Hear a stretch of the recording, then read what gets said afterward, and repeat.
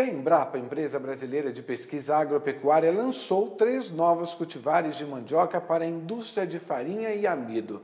São as primeiras, especialmente desenvolvidas para as condições do cerrado do Brasil Central. Foram longos anos de estudos até chegar ao resultado da pesquisa de melhoramento genético das cultivares de mandiocas. Os ensaios começaram em 2012 e contou com a parceria de mandiocultores, cooperativas e extensionistas rurais de diferentes polos de produção de amido do cerrado. São três novos tipos de clone, cada um com característica diferente.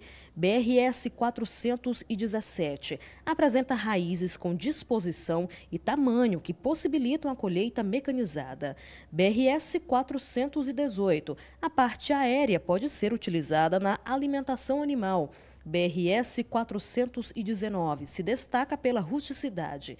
Todas têm vantagens, como produtividade, arquitetura favorável aos tratos culturais e ao plantio mecanizado, e serão usadas exclusivamente para a produção de farinha e amido. Essas são as primeiras especialmente desenvolvidas para as condições do cerrado do Brasil Central e são bem diferentes das mandiocas que estamos acostumados a ver nas mesas pelo Brasil. Em 2015, até nós na Embrapa Cerrados recomendamos as primeiras cultivares de mandioca de mesa é, desenvolvidas para as condições do cerrado. Né? Você pode ver que aquelas mandiocas eram biofortificadas. Elas tinham polpa amarela ou rosada e cozinhavam. Eram precoces, você colhia em torno de 10 a 12 meses.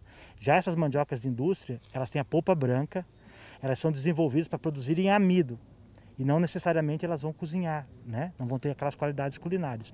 Então é um material que, é, que é, foi desenvolvido especificamente para a produção de farinha e de fécula. Os testes das novas cultivares aconteceram em seis pontos diferentes, em Minas Gerais, Goiás e Distrito Federal. Esses lugares também foram estudados, né?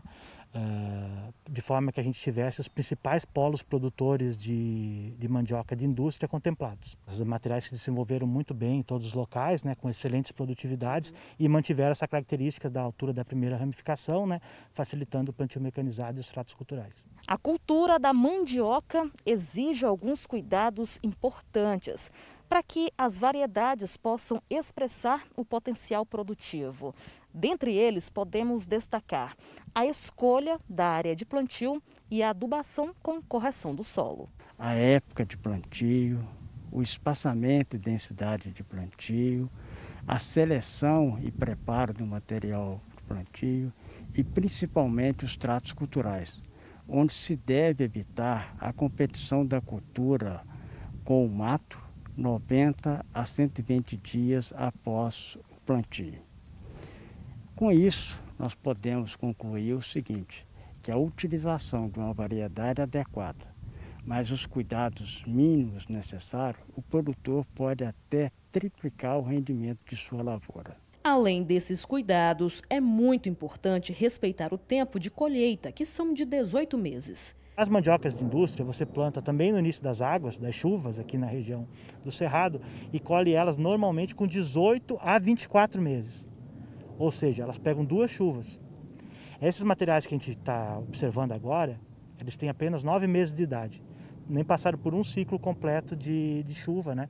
Elas estão na metade do ciclo de desenvolvimento delas. A mandioca é cultivada em todo o território nacional, onde são produzidas cerca de 18 milhões de toneladas de raízes anualmente, sendo 87% pela agricultura familiar, constituindo importante fonte de renda e segurança alimentar. Nós ficamos muito felizes de estar participando desse projeto com a Embrapa, desse desenvolvimento dessas novas variedades, tendo em vista que a variedade que a gente usa aqui na região é a mesma desde 87.